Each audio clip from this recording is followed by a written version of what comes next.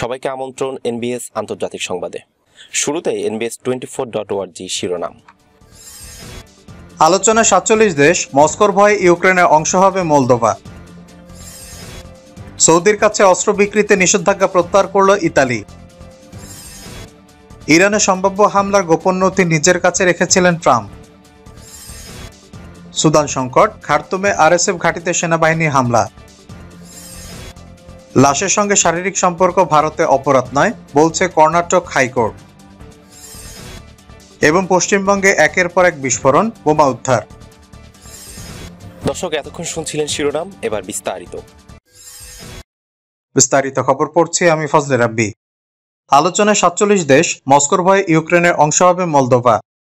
ইউরোপের অন্যতম ছোট এবং দরিদ্র রাষ্ট্র মলদোভা। সম্প্রতি ইউরোপীয় ইউনিয়নের অংশ হয়েছে দেশটি। তারপরে ইউরোপীয় পলিটিক্যাল কমিউনিটি বা ইসিপি শীর্ষ সম্মেলনের দায়িত্ব পড়েছে তাদের ঘাড়ে। বৃহস্পতিবার মলদোভার রাজধানী সামান্য দূরে মিমি ক্যাসেল এবং ওয়াইনারিতে একত্রিত হয়েছেন বিশ্ব নেতারা ইতিমধ্যে সেখানে পৌঁছে গেছেন সাতচল্লিশটি দেশের রাষ্ট্রনেতারা। রাশিয়া, বেলারুশ ছাড়া ইউক্রেনের অধিকাংশ দেশই এই গোষ্ঠীর অন্তর্গত। আরও বেশ কিছু দেশকে এতে অন্তর্ভুক্তির পরিকল্পনা আছে। বস্তুত তুরস্ক, আজারবাইজান, আর্মেনিয়ার মতো দেশগুলোকেও এই শীর্ষ সম্মেলনে অংশ নিতে আহ্বান জানানো হয়েছে। অন্যদিকে কসোভো বসনিয়া এতে অংশ নেবে বলে জানা গেছে। ইউক্রেন আলোচনা। গুরুত্বপূর্ণ শীর্ষ সম্মেলনে ইউক্রেন নিয়ে দীর্ঘ আলোচনা হবে। কীভাবে ইউরোপীয় ইউনিয়ন আরও বেশি করে ইউক্রেনের পাশে দাঁড়াতে পারে, সে বিষয়ে কথা বলবেন সবাই। এর আগে প্রথম ইপিসি হয়েছিল প্রাগে। ইউরোপীয় ইউনিয়নের নেতারা প্রায় সবাই সেখানে একটি বিষয়ে কার্যত সহমত হয়েছিলেন। ইপিসি আলোচনা অন্যতম শ্রেষ্ঠ মঞ্চ। ফলে ইউক্রেনকে সামনে রেখে আরও বিস্তারিত আলোচনার সম্ভাবনা আছে এই বৈঠকে। মলদোভার ভবিষ্যৎ। একই দিকে রোমানিয়া, অন্যদিকে ইউক্রেনের মাঝে ছোট্ট রাষ্ট্র মলদোভা উনিশশো বিরানব্বই সালে এই রাষ্ট্রের একটি অংশ বিচ্ছিন্ন হয়ে গেছে।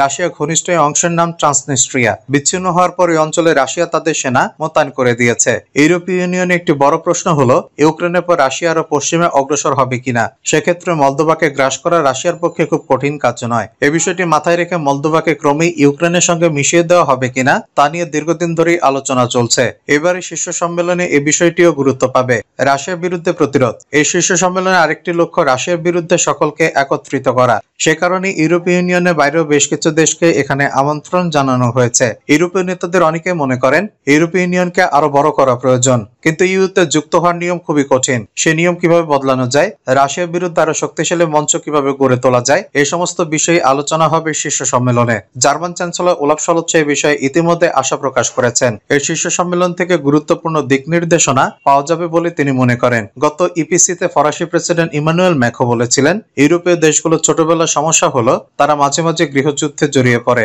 সে রাস্তা থেকে সরে গিয়ে সকলকে রাশিয়ার বিরুদ্ধে একত্র হতে হবে। বস্তুত ইউরোপের একাধিক দেশে কার্যত গৃহযুদ্ধের আবহাওয়া। আজারবাইজান আর্মেনিয়ার মধ্যে গন্ডগোল চলছে। তুরস্কের নিজস্ব সমস্যা আছে। কসোভয় বিক্ষোভ চলছে। বসনিয়া দীর্ঘ সময় লড়াই দেখছে।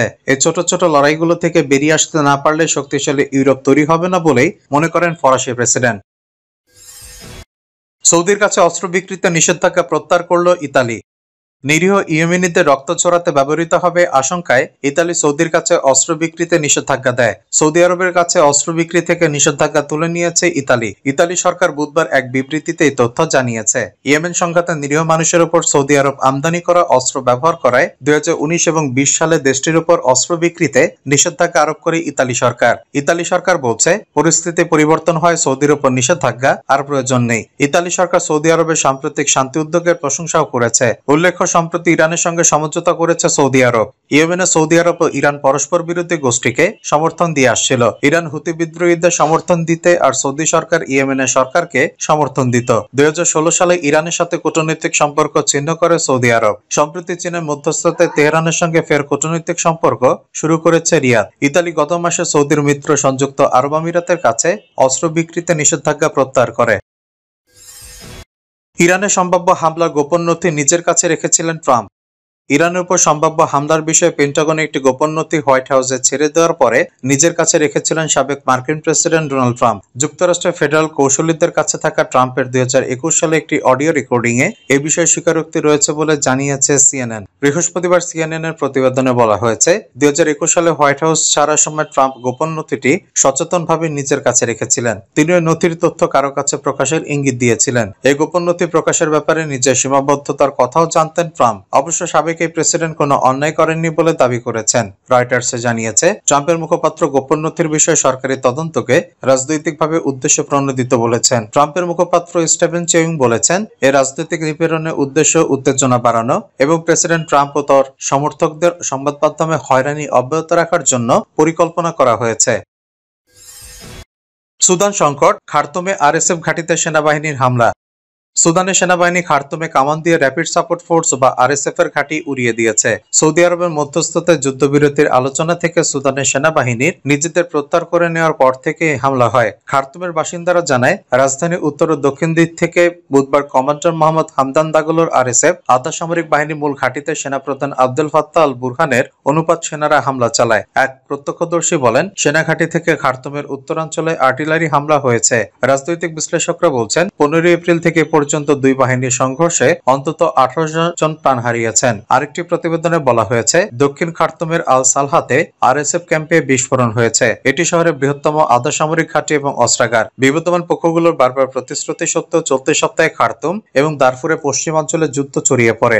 রাজধানীতে সেনা পরিদর্শনের সময় বুরহান ঘোষণা করেছিলেন, বিজয় না হওয়া পর্যন্ত লড়াই করার জন্য প্রস্তুত আছে সেনারা। অন্যদিকে আরএসএফ বলছে, তারা আত্মরক্ষার অধিকার প্রয়োগ করবে, সেনাবাহিনীর বিরুদ্ধে যুদ্ধবিরতি লঙ্ঘনের অভিযোগ এনেছে বাহিনীটি।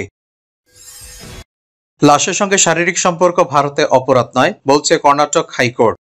গত বুধবার পঁচিশ বছর বয়সে এক তরুণীকে হত্যার পর ধর্ষণের অভিযোগের মামলায় শুনানি চলছিল হাইকোর্টে। হত্যার পর নারীকে যৌন নির্যাতনের জন্য অভিযুক্ত এই ব্যক্তিকে দোষী সাব্যস্ত করা হয়েছে। ধর্ষণের সাজা থেকে তাকে নিষ্কৃতি দেওয়া হয়েছে। হাইকোর্টের যুক্তি, লাশের সঙ্গে আপত্তিজনক ঘনিষ্ঠতা ভারতীয় সংবিধানে অপরাধ নয়। ভারতীয় দণ্ডবিধে তিনশো পঁচাত্তর ধারে এটিকে অপরাধ হিসেবে গণ্য করা হয়নি। কর্ণাটক হাইকোর্টের পর্যবেক্ষণ, লাশের উপর যৌন নিপীড়নকে ভারতীয় দণ্ডবিধির তিনশো সাতাত্তর ধারা অস্বাভাবিক যৌনাচার দিয়ে ব্যাখ্যা করা যায় না। কারণ এই নিয়ে আইনে নির্দিষ্ট করে কিছু বলা নেই। তাই বিষয়টি কেন্দ্রীয় সরকারকে চিন্তা ভাবনা পরামর্শ দিয়ে কর্ণাটক সরকারকে বেশ কিছু নির্দেশনা দিয়েছে ওই রাজ্যের হাইকোর্ট। নির্দেশনায় বলা হয়েছে, ছয় মাসের মধ্যে সরকারি এবং বেসরকারি হাসপাতালের মর্গগুলোতে যেখানে মরদেহ সংরক্ষণ করা হয়, সেখানে সিসিটিভি বসাতে হবে। পুলিশ প্রশাসনকে আরও করণ নজরদারি চালাতে হবে। উল্লেখ্য, অনেক সরকারি এবং বেসরকারি হাসপাতালে মর্গে মরদেহ পাহা- পাহারা দেওয়ার জন্য নিযুক্তদের কেউ কেউ ওইসব মরদেহের সঙ্গে আপত্তিজনক আচরণ করে বলে অভিযোগ ওঠে। একে নেক্রোফিলিয়া বলা হয়। কর্ণাটক হাইকোর্ট এই নেক্রোফিলিয়া সংক্রান্ত একটি মামলা শুনানিতে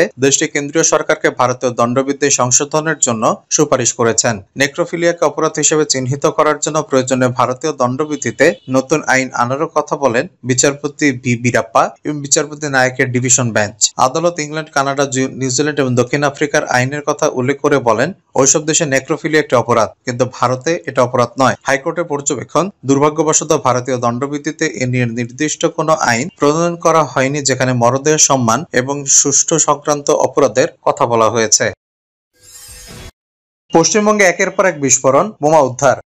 বোমার স্তূপের উপর বসে ভারতের পশ্চিমবঙ্গ রাজ্য। প্রায় প্রতিদিনই বিভিন্ন জেলা থেকে হয় বিস্ফোরণের খবর আসছে অথবা প্রচুর পরিমাণ বোমা উদ্ধার হচ্ছে। উদ্ধার করা হচ্ছে জিলেন্ডেন স্টিক ডেটোনেটর ইত্যাদি। এর শেষ উদাহরণ হলো নদিয়ায় মহেশনগর পূর্ব পাড়ায় সাইফুল শেখের বাড়িতে বিস্ফোরণ। স্থানীয় সময় বুধবার রাতে এই বিস্ফোরণে সাইফুলের বাড়ির ছাদ উড়ে যায়। সাইফুল এলাকায় তৃণমূলের নেতা বলে পরিচিত। স্থানীয় মানুষের অভিযোগ, তার বাড়িতে প্রচুর বোমা মজুত করে রাখা ছিল। সেজন্য এত তীব্র বিস্ফোরণ হয়েছে।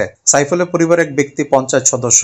ঘটনার পর সেখানে পুলিশ পৌঁছায়, কিন্তু তারা সেরকম কোনো ভূমিকা নেয়নি বলে স্থানীয় মানুষের অভিযোগ। স্থানীয় বাসিন্দা টিভি নাইনকে বলেন, পুলিশ এসে দেখে চলে গেছে। সাইফুলের বাড়িতে প্রচুর বোমা রাখা ছিল বলে এত তীব্র বিস্ফোরণ হয়েছে। তৃণমূল অবশ্য এ নিয়ে কোনো মন্তব্য করেনি। এদিন রাতে নদিয়ার কাটাবেল অঞ্চলে তৃণমূলের দুই গোষ্ঠীর মধ্যে প্রবল বোমাবাজি হয় বলে অভিযোগ। পার্টি অবস দখল করাকে কেন্দ্র করে এই বোমাবাজি হয়েছে বলে স্থানীয় মানুষ জানিয়েছে। বীরভূমে উদ্ধার বোমার মশলা।